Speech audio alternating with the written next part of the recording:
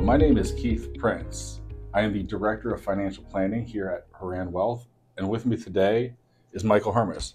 Hello, everyone. My name is Michael Hermes. I'm a Vice President Wealth Advisor here at Horan. I'm a Chartered Financial Analyst, Certified Financial Planner, and National Social Security Advisor. Uh, my role at Horan is to help individuals navigate the financial complexities of retirement. Um, so, whether that be navigating Social Security benefits, Medicare benefits, uh, or turning their investment accounts into uh, reliable income throughout retirement. So, Michael, today we're going to discuss the difference between growth and value stocks. What is a growth stock? Yeah, the great question, Keith. Um, really, what a growth stock is at its core is it's a company that has developed some sort of disruptive technology, if you will, and the expectations for growth of that company significantly outpace what the rest of the market is doing. Uh, most, com- most commonly, uh, growth stocks happen to be technology companies. Um, growth stocks tend to be more volatile because they don't have a whole lot in the way of consistent earnings at the company. Um, and most uh, investors buy these growth stocks in the hopes that their stock price will rapidly appreciate versus relying on stable income generation through dividends. Um, one example of a growth company would be Tesla.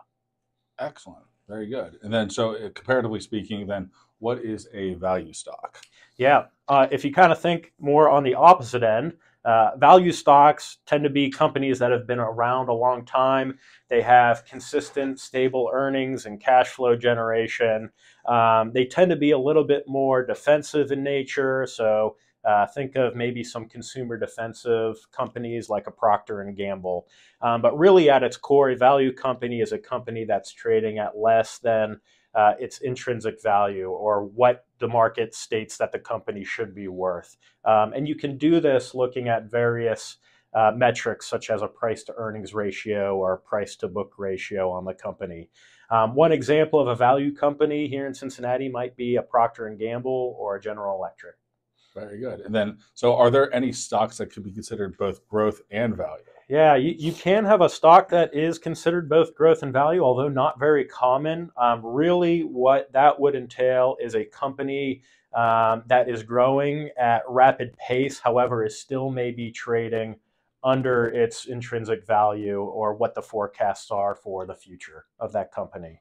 Um, but yeah, we don't we don't really run into it too often. Very good. So then, should investors choose one style over the other? Why or why not? Yeah, uh, ultimately, we believe that you shouldn't try and choose to invest in growth or value. Um, by doing so, naturally, you're, you're trying to time the market and when one might outperform the other style. And we're not big fans of trying to time the market. And for that reason, we encourage individuals to invest in a core fund, which combines both growth and value. Uh, one of the most simple funds out there being uh, an S&P 500 exchange traded fund. Very good. Well, Michael, thank you for clarifying these two different styles for us.